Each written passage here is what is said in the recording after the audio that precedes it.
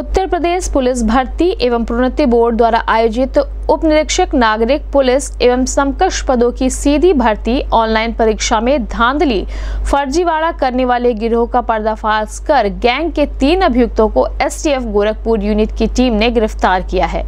गिरफ़्तार अभियुक्तों में अनुभव सिंह, पुत्र स्वर्गीय दिनेश सिंह, निवासी शिवपुर शाहबाजगंज थाना गुलहरिया, नित्यानंद गौड़, पुत्र परशुराम गौड़, निवासी अहिरौली थाना घुगली, जनपद महाराजगंज, सेनापति शाहनी, पुत्र स्वर्गीय श्यामबली शाहनी, निवासी महेसरा थाना चिलवाताल शामिल हैं। गिरफ़्तार अभियुक्तों के पास से एसटीएफ ने 6100 नगद दो आधार कार्ड, एक डीएल तीन मोबाइल फ़ोन, चार पेन ड्राइव, एक पैन कार्ड और एक निर्वाचन कार्ड बरामद किया है। एसटीएफ की टीम ने तीनों अभियुक्तों को देवरिया बाईपास से 200 मीटर रामगढ़ताल थाने के रोड से मंगलवार को करीब 6 बजे सुबह गिरफ़्तार किया है।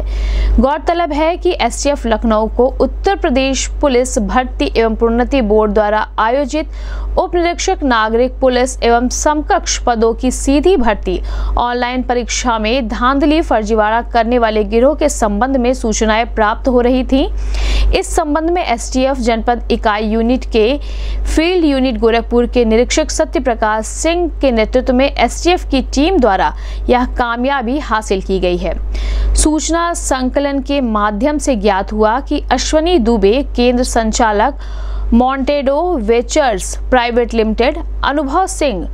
cluster head Ashish Shukla केंद्र संचालक cavalier animation centre Deepak Diwakar उर्फ़ Pintu.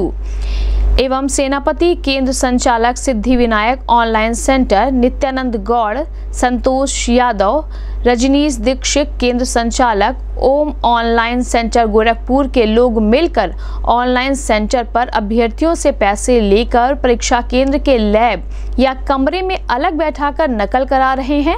जिसके तहत एसटीएफ के निरीक्षक सत्य प्रकाश उप निरीक्षक Alok Kumar Rai, head constable Jitendra Yadav, doctor Mahendra Pratap Singh की टीम द्वारा उस स्थान पर पहुंचकर घेराबंदी करके अभियुक्तों को गिरफ़्तार कर लिया गया।